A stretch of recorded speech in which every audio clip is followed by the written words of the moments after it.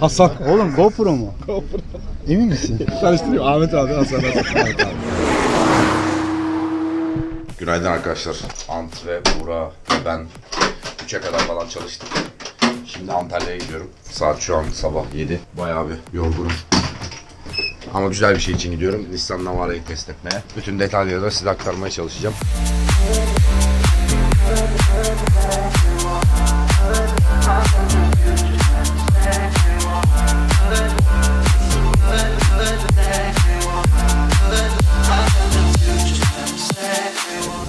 Şimdi. Uçak bayağı büyük maşallah.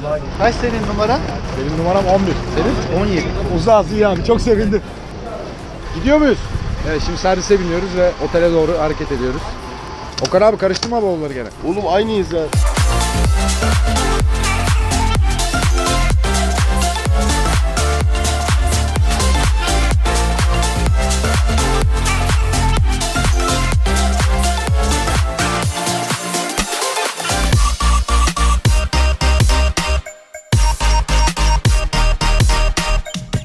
Yeni Nissan ile yola çıktık. Yanımızda Okan Altan var. Abi istersen biraz kendinden bahsetsen. Türkiye'de bir otomobil gazeteciliği mesleği diye bir meslek var artık. 89 yılında Hrant Kasapoğlu ile birlikte bu mesleği başlatan kişiler olarak bir ihtiyarlığımız var bizim. 27 yıl içinde bir sürü şey birikti. O birikimlerin yanında bir de uluslararası bir kariyerim var otomobil gazeteciliğinde. Autobüs jüri üyesiyim ve şu anda da yeni Nissan Navara testindeyiz. Bununla ilgili ilginç veriler var. O ilginç verileri paylaşmaya çalışacağım Doğan'la birlikte sizlerle. Seninle yola çıkmamdaki neden şu. Mesela sen bazen ortadan kayboluyorsun. Facebook'ta senin bir fotoğrafını görüyorum. Amerika'da devasa bir tane kamyonet almışsın onunla geziyorsun. Hobin biraz bu senin. Hobin, Evet, yani hobin. oradaki Para fuarları- harcıyorum bu işe. Evet oradaki fuarları takip ediyorsun. Değişik otomobiller kullanmayı seviyorsun. Kamyonetler de bunlardan birkaçı. Yani bunların içinde olan Evet. otomobiller. Aynen. O yüzden aslında bu testi özellikle seninle yapmak istedim. Peki Navara hakkında ilk izlemin ne abi? Yani bir cümleyle bize Tek Navara'yı- başına bir şey söyleyeyim. Eski Navara bundan çok daha iyiydi. Yeni pick-up çok daha fazla gelişmiş. Yani süspansiyon özellikleri, konfor özellikleri ve teknolojik anlamda. O böyle bir baba Pickup sence vardı. yumuşak mı durmalı?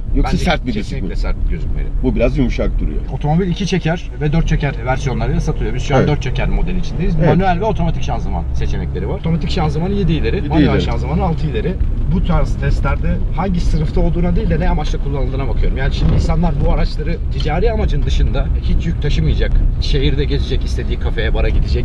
Bir insanı da üzmeyecek kalitede Ama bence. ama o insana zaten bu araç hiç uygun değil. Çünkü Değil şehir içinde alınıyor. hareket etmesi çok Kesinlikle kolay değil. Çünkü araç çok uzun. Ama alıyorlar. yüksek.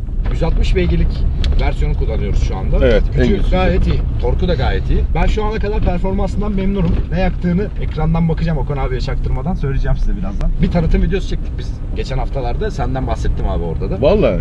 Seni tanıyorlar yani takipçiler artık. Sen de ilgilen anlayacaksın video yayınlandıktan sonra ne kadar güçlü ve bağlı bir kitlemiz olduğunu. Bu otomobilde sınıfında ilk kez kullanılan bir arka süspansiyon sistemi mevcut. Evet çok kollu multilink Aha. denilen bir süspansiyon kullanılıyor. Ticari araçta çok kollu. Arka aksın olması e, özellikle yol tutuşunda ciddi avantajları olacaktır. Yakıt tüketimine bakıyorum abi 11.9 gösteriyor. Biz biraz gazladık tabii yani çok da yokuş Evet. çıktık. Bir de 4x4 gittin. Bir önceki nesle göre %14 bir iyileştirme var. Sürüş pozisyonu biraz yüksek geldi bana. Şu an en altta kullanıyorum. Bir eleştirim daha var otomobile. Yol bilgisayarını kontrol etmek için arkadaşlar elinizi buradan içeriye böyle sokup buradan dıp dıp dıp dıp basmak zorunda kalıyorsunuz. Bu biraz sıkıntılı bir şey. çeker alıp dört çeker yürümeye başladı abi sana şu aşağı yukarı da bu yollar kaybolmuş. Burada kaymaz dört çekerde. Ama- Bence Hareket 4 eden çekeri aldığında zaten şöyle bir şey birazcık daha top gitmeye başlayacak araç. Tabii. Ya bu Yani- kadar zıplatmayacak. 20 kilometreye düştüm. Dört çekeri aldım bakalım aldı mı?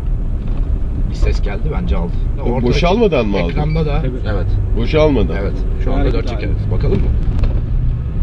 Evet. Oo. Hmm. Fiyat hakkında ne düşünüyorsun abi? Fiyatlar bu vergi sistemiyle çok anormal değil. Onu Yet- söyleyelim. Ha, 79'dan başlıyor, 79 120'ye binden kadar başlıyor. tırmanıyor. Alır mıydın Navara'yı? Alırım tabii ki. Otoparkçılar seni sevecek göreceksin. Çünkü otomobil seviyorsun.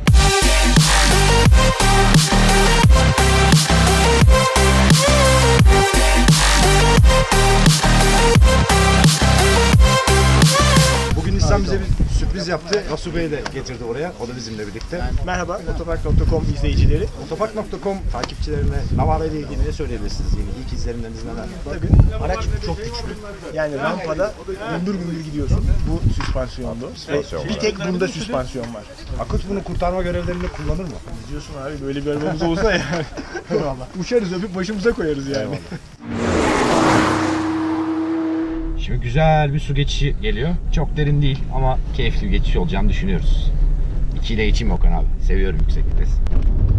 Murat ıslandın mı ya? Aslandı tabii.